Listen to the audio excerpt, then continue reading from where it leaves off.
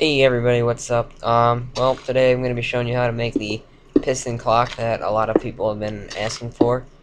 And basically, you just gotta follow what I do. There's a few parts where I make stupid little mistakes, but I already did this once and messed up pretty badly, and I didn't really want to do it again.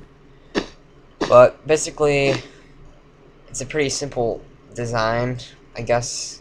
Uh, once you understand how it works, you'll probably be able to make it it again and over and over. And honestly, if you if you just build this for fun, it really helps improve your redstone abilities and you understand things a lot more. So I'm gonna stop talking now, and I'll uh, yeah, I'll let you guys watch the video for a little bit.